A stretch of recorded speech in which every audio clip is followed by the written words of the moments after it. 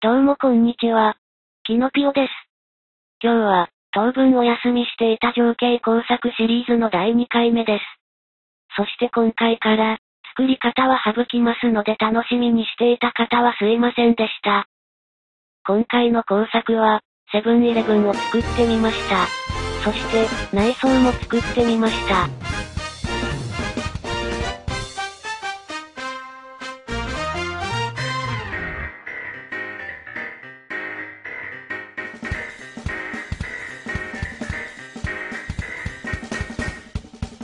これが看板です。見てわかるように印刷ではなく色ペンなどを使っています。外の窓から中を覗くとこんな感じです。はい、これが駐車場です。白線は修正液で描きました。